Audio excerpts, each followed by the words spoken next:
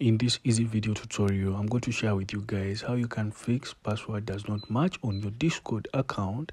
Uh, you'll simply just head into your discord just right here and on your bottom right corner down below you'll have to head into your profile and then you'll have to scroll down and go into the option of support which is just right here and still tap onto the first option that says support just right here. And so guys uh, inside this option you'll have to uh, definitely uh, tap on the question mark right here in purple. And then uh, right there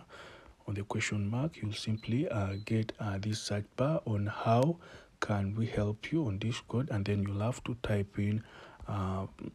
my i mean fix um, password does not match right uh, here is very simple and precise and then uh, you'll have to uh, go ahead and wait for these um, top results and then you'll have to tap into the first option right here and then you'll have to scroll down into the option of uh, discord's website just right here. So you'll have to go ahead and uh,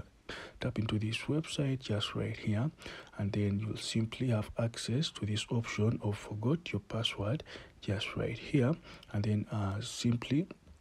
go ahead and um, uh, put into your email or password i mean or phone number and then simply go ahead and uh, type in your new password and then simply you just get a new password and then you won't get worried about uh, anything about password does not match. So this is the best way to to uh, get rid of that uh, in just a few simple steps. So guys let me know down below in the comment section. If this was helpful